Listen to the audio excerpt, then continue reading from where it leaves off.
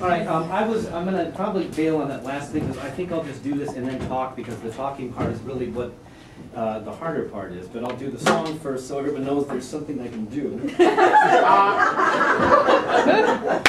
I'm gonna put my gum here. I'm going to remember to take it, so the next person doesn't have to stick with it, but, uh, anyway, this is a song that I wrote, I believe, as a direct result of things being a little bit easier to write after, uh, working with Ann Mm. Randolph.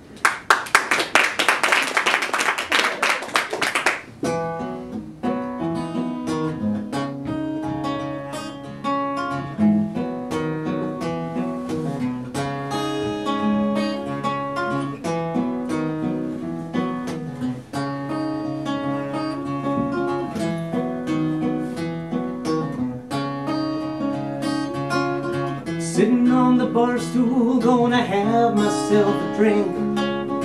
Need a little time away, a little time to think. Then she sorta caught me by surprise when she kinda looked into my eyes. I didn't know where this was gonna go. So far I was going with the flow.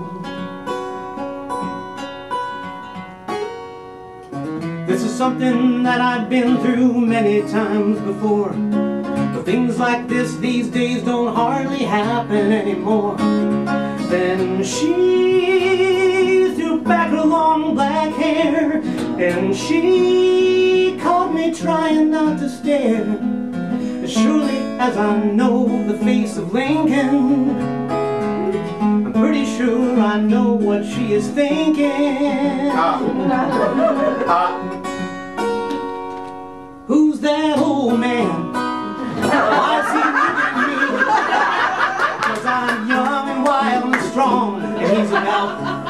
63. His life is almost done, while mine has just begun. What makes him think that he can just look at me? Look at me. Now wait a goddamn minute, how do I know that's what she meant? I'm gonna find out if I'm a fool or if she's heaven sent. Then she got up when some guy asked her to dance. As she waltzed off, I knew I missed my chance. Serves me right for holding back, delaying. Worried if somewhere someone is saying, Who's that old man? Why's he looking at me? Cause I'm young and wild and strong, he's about 73. His life almost done, while mine has just begun. What makes him think that he can just look at me? Look at me. Splash some cold water in my face, pound some scotch without a chase. Slap upside my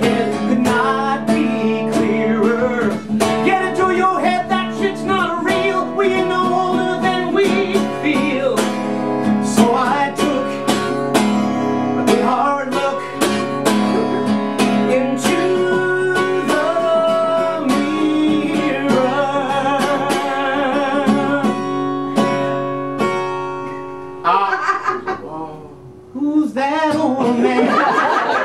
Why's he looking at me?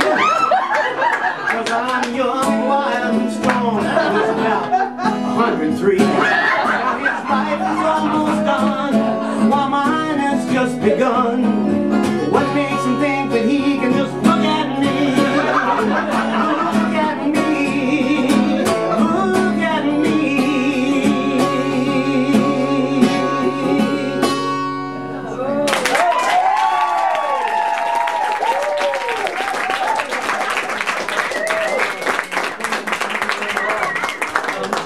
I liberally call my career in the music game, which I've survived in for a long time, because I'm kind of a musical jack of all trades, with the usual rejoinder after that.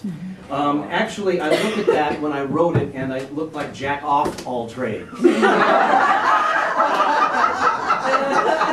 which was either someone who gives happy endings to working men at the end of their shifts, or someone who spent a decent amount of time wanking it in both the literal and figurative sense.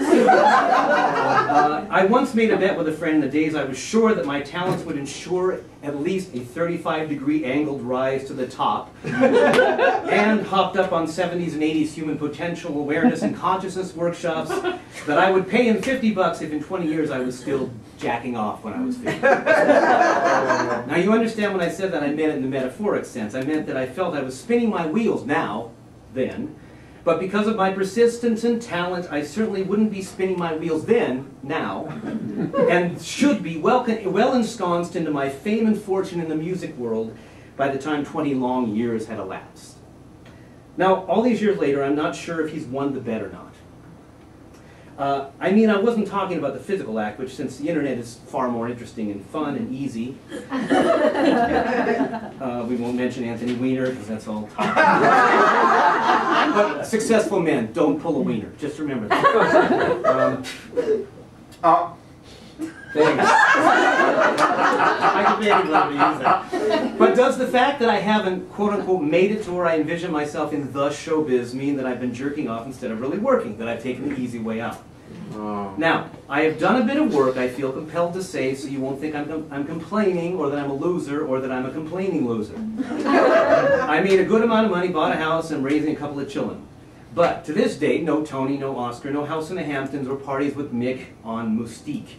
Mick Jagger, some singer that your parents liked. but here I am writing some of the best songs I've ever written and more of them, performing them, and even having the gumption to talk a little about my life and or my thoughts in between them.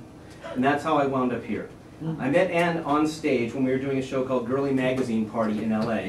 The joke of the show was that it was a low-rent Playboy After Dark hosted by the publisher of Jaunt Magazine. Uh. It would be like if Jugs Magazine had spawned a media empire like Hugh Hefner's, but tackier. Uh. the show had been a revolving door for the best and most smartest comic performers in town. I did the music's on it, so I didn't have to be as funny.